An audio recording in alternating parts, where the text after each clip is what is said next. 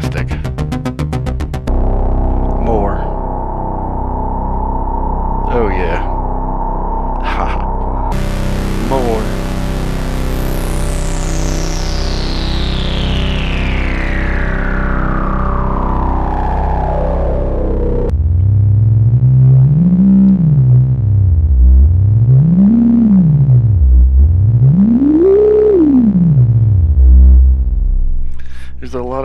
Stuff happening down there at the bottom end of the. Ooh.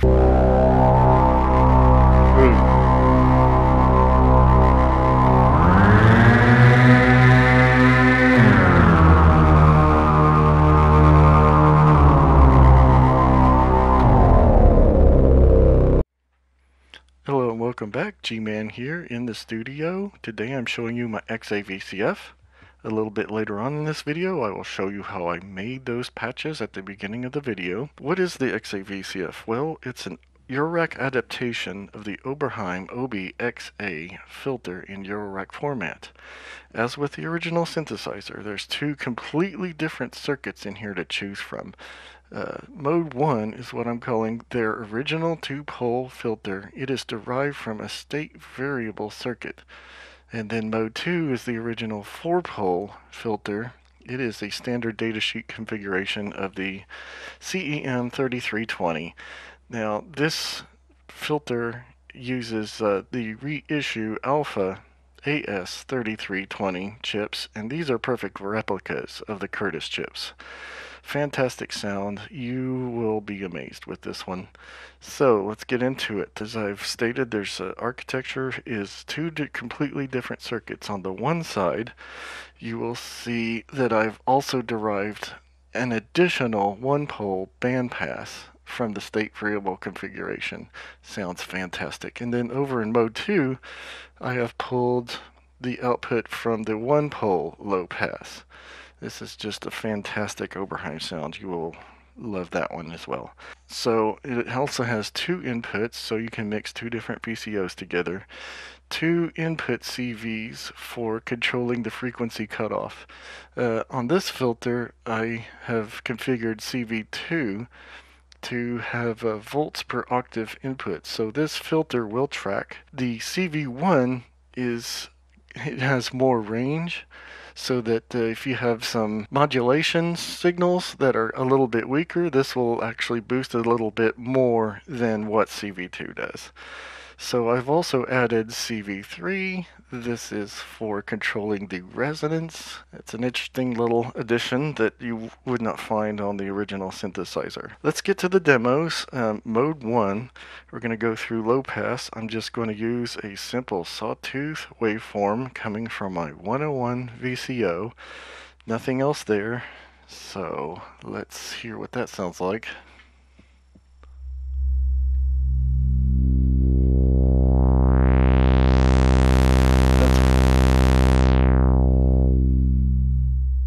Without any resonance. Let's add some resonance in.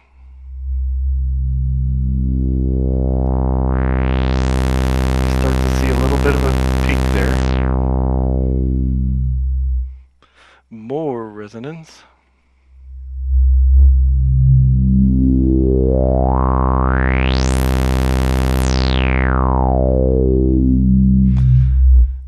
Kinds of stuff going on there then flat out this is going to hurt so I'm going to turn down the input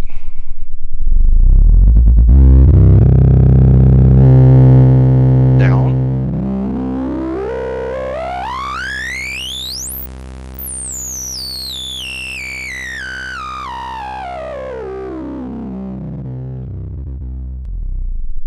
you'll notice those peaks were kind of going in one general direction. That's because of uh, some clipping diodes that are in that state variable configuration. So check it out again. Look for the peaks going in that direction.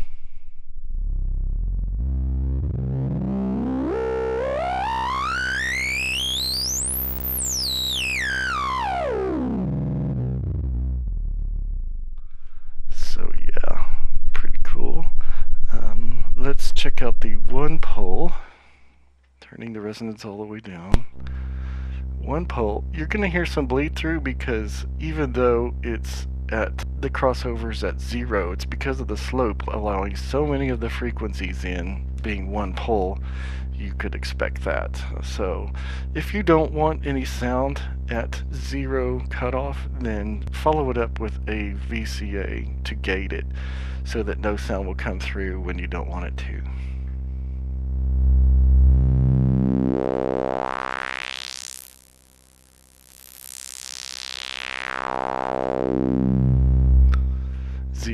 Resonance. Let's kick it all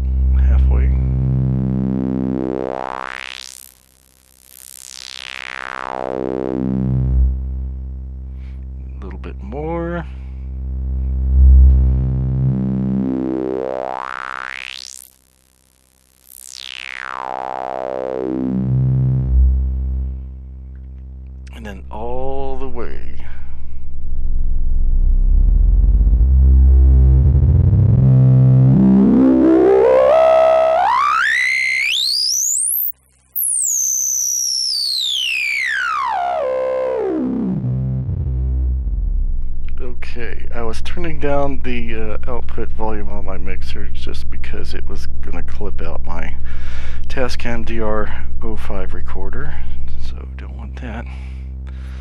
Now let's go over to mode 2 and see what that sounds like. First the 4 pole. It's a bit quieter, so I go ahead and turn up my input a little bit.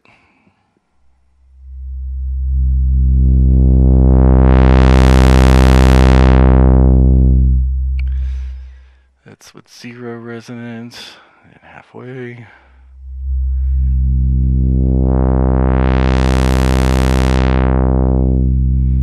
Still not much going on there. It's not as wild as the uh, mode 1 resonance.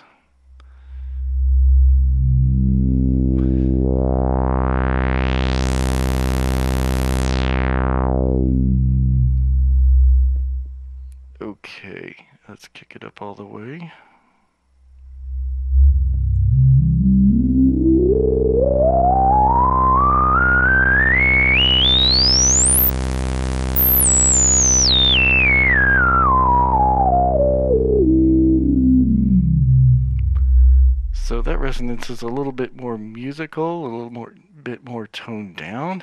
Let's go to one pole. You know you want to hear it. Once again, you'll hear the bleed through because even though the frequency's at zero, because the slope is so far out, it's allowing a lot of the frequencies through past the cutoff. Once again, if you want no sound when you don't uh, at zero, go ahead and chase it with a VCA to gate that audio. So let's see what this one sounds like. Clipping out there, I'm sorry.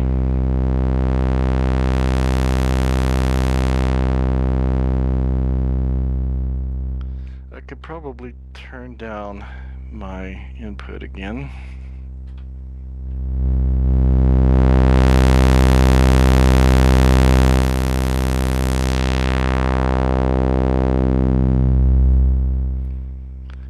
Starting to get those little peaks there.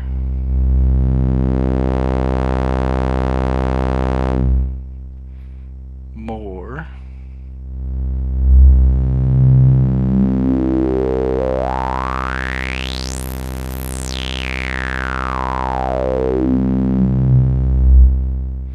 This one to me is just such a typical Oberheim.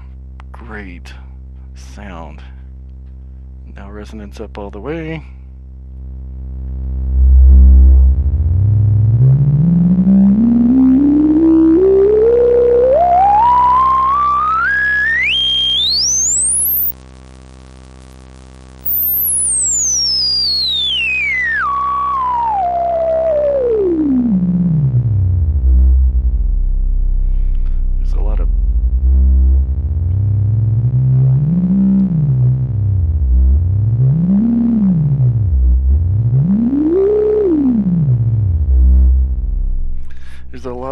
Stuff happening down there at the bottom end of the frequency and the lower frequency spectrum.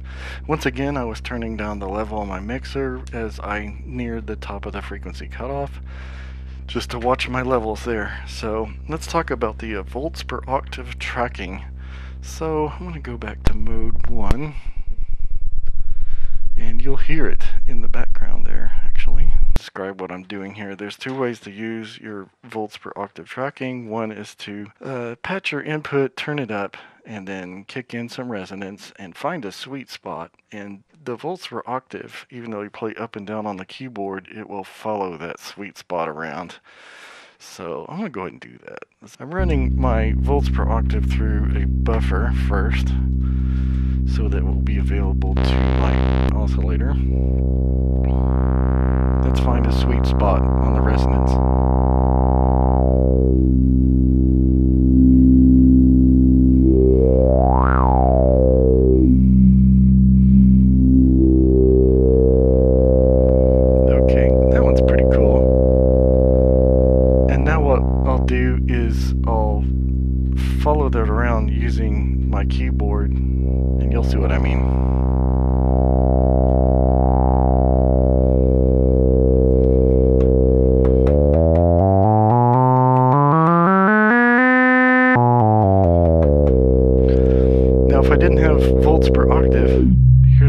would sound like.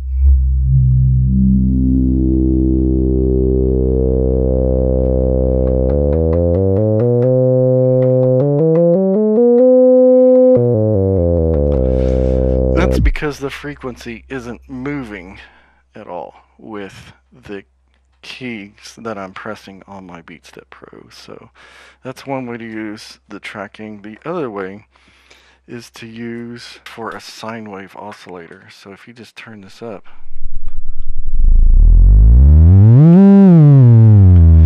it becomes a sine wave.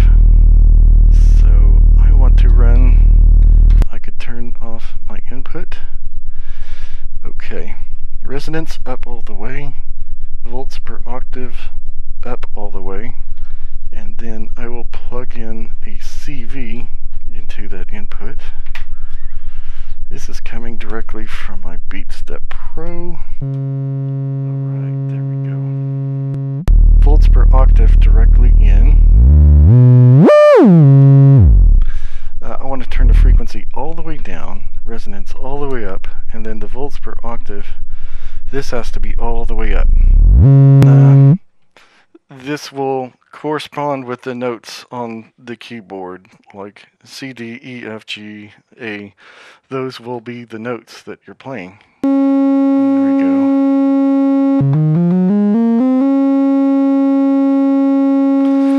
Okay, I have a little sequence program into my BeatStep, very simple, but I'll just be transposing that up and down the keyboard.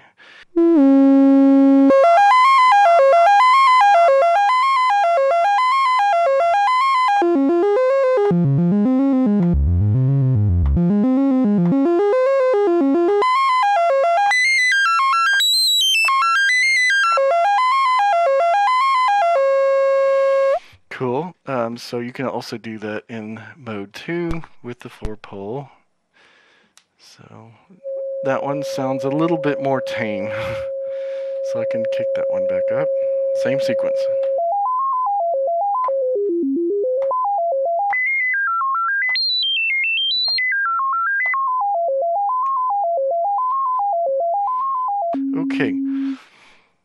The tracking isn't bad on this. This is an analog device, so the tracking isn't going to be pitch perfect like anything that's digital. So one pole, you know you want to hear the one pole tracking, so let's do that.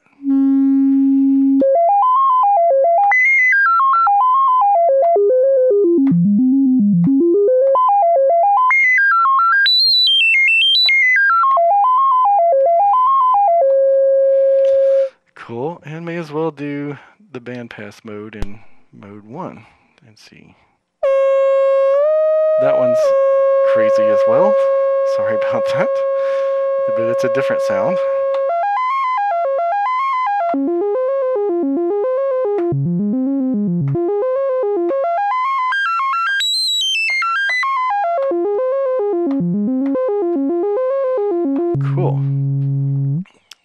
Get on with doing some patches. I'm going to do the Tom Sawyer synth sweep that I did in my uh, first like teaser video. I want to copy, I'm sending my volts per octave from the BeatStep 2 into a buffer and I'm going to send that to CV2. We're going to do some pitch tracking on that and then I'm going to plug in my 101 VCO into one. Go back to two pole low pass. So 101 VCO, sawtooth, square wave, pulse width modulation is coming from Batumi, and then a little bit of sub oscillator. Let's see what that sounds like. So there's that. And then I'll add my synthesizer box into input 2 it also has pulse width modulation. And we'll let them slightly be detuned. The Pittsburgh box also has sawtooth and sub-oscillator as well. That's how I come up with those really big fat tones. So, and I'll slightly detune them so they're slightly phasing here. So there's that.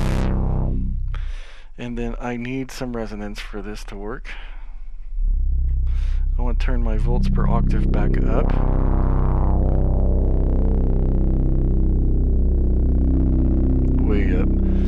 Then I want to add some delay for my Eventide Timefactor. This module is going to be your delay's best friend. So let's have it. There's the delay.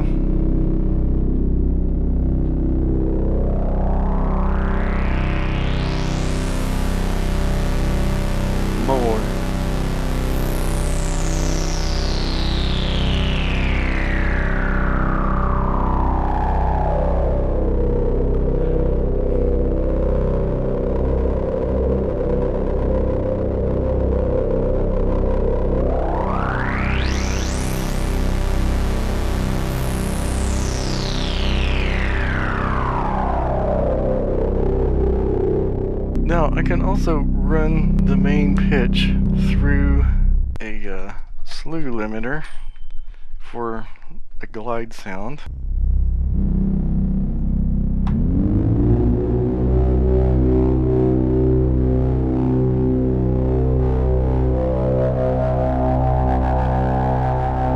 You'll find a uh, sweet spot and then it will track. When this is up, it will just track that sweet spot across the keyboard.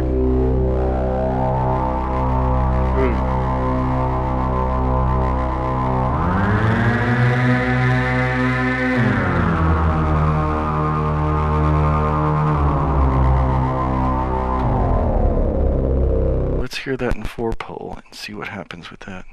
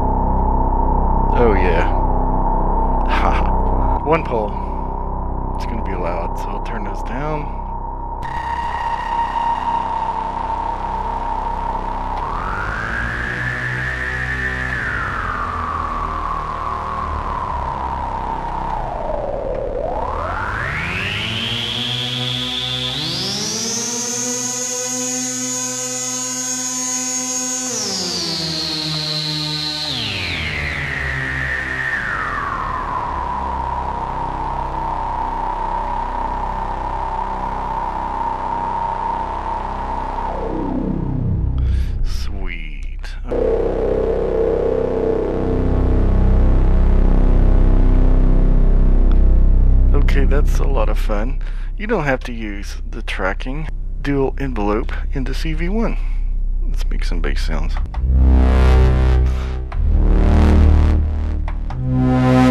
I've got some attack.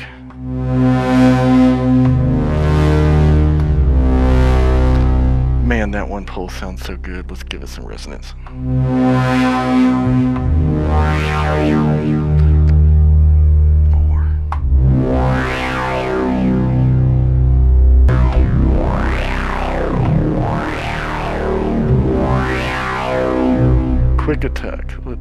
Let's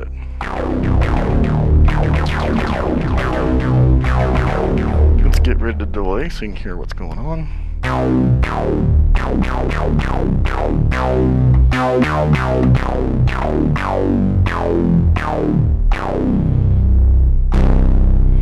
Let's do short and punchy.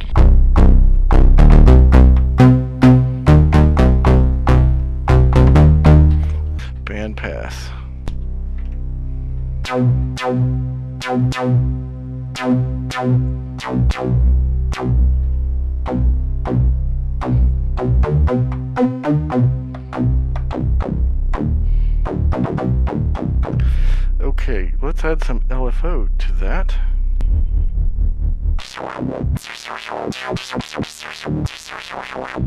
Two pole.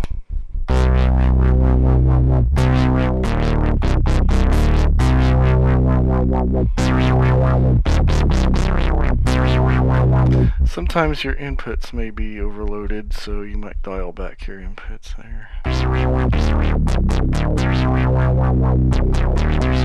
I am sending a lot to it, so I just have the sawtooth and pulse coming from my 101 VCO.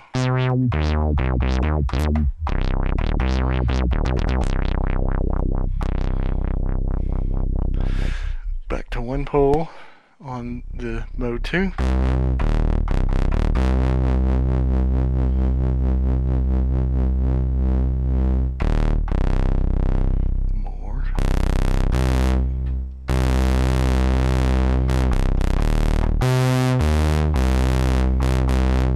Shorter envelope time.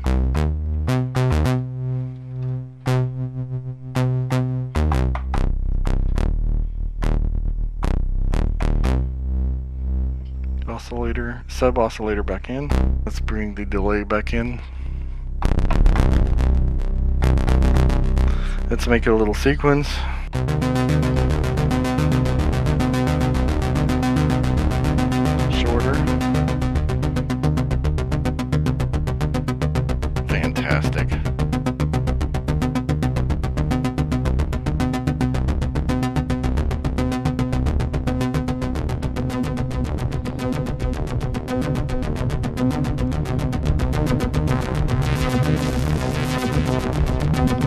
I still haven't shown what the resonance input does. So let's add that in. Coming LFO from Batumi.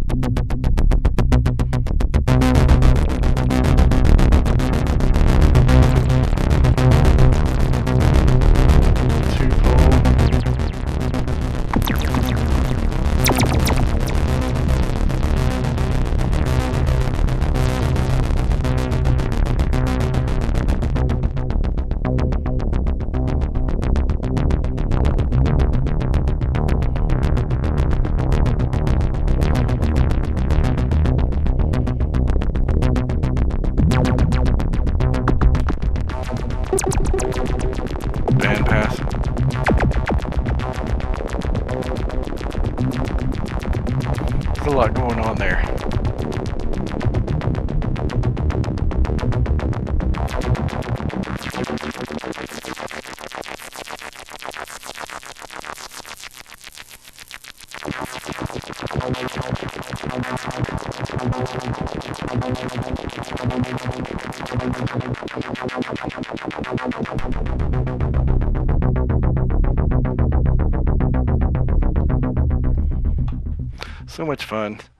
So that's the XAVCF. Uh, you for watching, and be sure to like, comment, and subscribe. Thank you.